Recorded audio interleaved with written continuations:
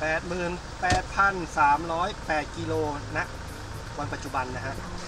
คันนี้นะคะประวัติของรถคันนี้นะคะ เจ้าของลำดับเดียวเท่านั้นเอง อันนี้นะคะให้เห็นเห็นเลยว่าเป็นเจ้าของมือเดียว h ุ u ได H1 นะคะ ปี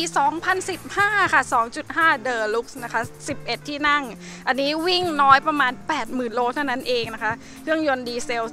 175 แรงม้ารถครอบครัวเนี่ย ตอบโจทย์ทุกการใช้งานเลย ข้างในเนี่ย นั่งได้หลายคนไปทั้งบริษัทยังได้เลย ใช่นั่งข้างหลังก็ไม่ร้อนนะคุณชมพูเพราะว่ามีแอร์ แถวที่หนึ่งตั้งแต่แถวที่หนึ่งแถวที่สองแถวที่สามเลย คนนั่งขับเนี่ยก็ดูกว้างขวางด้วยสีเบจนะคะ แล้วก็ตรงพวงมาลัยเนี่ยมีมัลติฟัง c t ชันทำให้คนขับเนี่ยขับสบาย ที่วางแก้วด้วย คุณก็ชอบอีกอันนะคะโอ้ที่วางแก้วข้างหน้าที่บอกว่านั่งกันสามยังคนั่งได้อีก 3 คนใช่สามก็ยังนั่งสบายอยู่ ยังนั่งได้อยู่ แต่ช่างดำลองเหยียบเบรกเข้าเกียร์ ขาขวาก็ต้องเห็นอยู่นะคะ ขาขวาต้อง4ี่ห้าองศาหน่อยครับไม่งั้นเวลาเข้าเกียร์อะช่างตั้งเข้าอีกทีนึง อ่าโอเคคุณนะความบันเทิงสำหรับโซนที่นั่งข้างหน้าใช่ค่ะ แล้วระหว่างทางเผื่อไปต่างจังหวัดบิ๊กงานกันอะไร ผู้บริหารก็นั่งสองท่านมีแก้วไวน์อ่าคุยงานกันไปอะไรกันไปนะฮะค่ะนั่งสบายค่ะชมพูนั่งนั่งอย่างนี้แล้วก็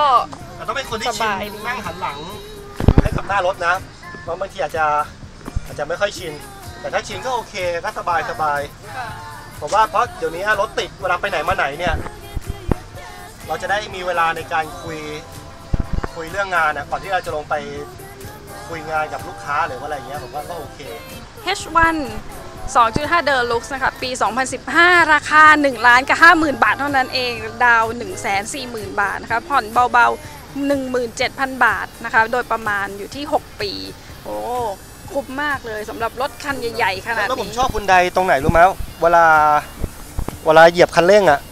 หรือว่าตาเร่งผมว่ามันดีมันเป็นเครื่องดีเซลโทโบ2,500 cc 175 แรงม้าเนี่ย ผมจะผมขับทั้งเอาผาดทั้งคุณไดเนี่ย ผมก็ชอบเอาผาดในลักษณะหนึ่ง แล้วก็ชอบคุณไดในลักษณะหนึ่ง รถคุณไดเนี่ยเขาจะแบบเป็นเครื่องดีเซลนะทนทนทาน แต่คันเร่งไปนิดเดียวรถแล่นออกไปแล้ว ด้านหลังนี่ก็มี parking sensor ไม่ต้องกังวลเลยนะคะ ในเรื่องของการกะระยะถอยหรือว่า ในเรื่องของความปลอดภัยก็จะมีเซ็นเซอร์ ที่เรากล้าพูดว่าหาหาไม่ได้ง่าย เพราะว่าเราทำอาชีพนี้กว่าเราจะหาเลขไม้น้อยๆแบบนี้แล้วเลขไม้แท้เนี่ยเราก็หายากเหมือนกันค่ะนะฮะ